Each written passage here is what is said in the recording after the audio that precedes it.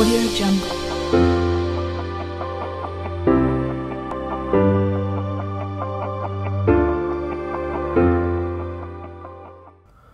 Vertical controls are used to position and scale the waveform vertically, set the input coupling, and adjust other signal conditions. The vertical position control allows you to move the waveform up and down, so it's exactly where you want it on the screen.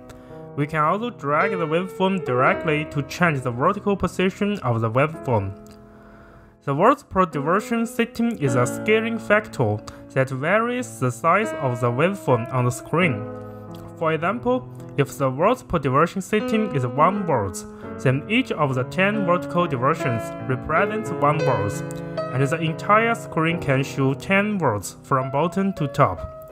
If the setting is 2 volts per division, the screen can display 20 volts from bottom to top, and so on.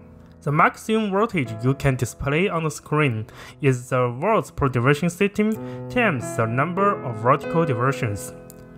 Tap the channel icon to open the channel menu, which includes channel waveform inversion, channel coupling model, probe type, probe attenuation factor, channel bandwidth limit, and vertical expansion reference.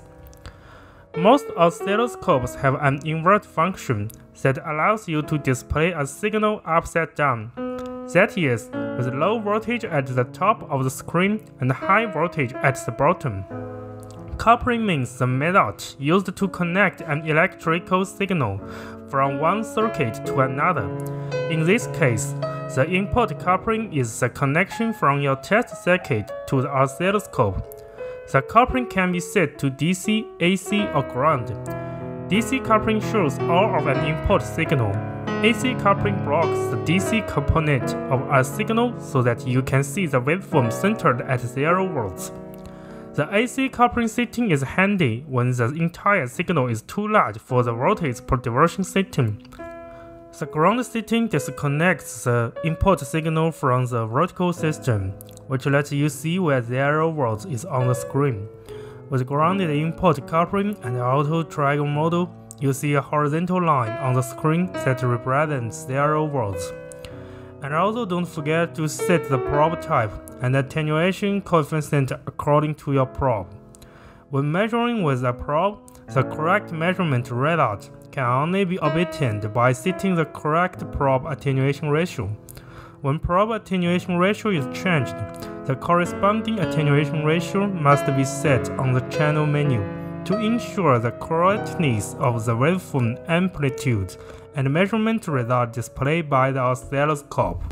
Now let's see this bandwidth selection box, which could limit the bandwidth of the oscilloscope. Full bandwidth allows signals of all frequencies to pass. 20 megabandwidth means only signals with frequencies below 20 MHz are allowed to pass, and signals above 20 MHz are effectively attenuated.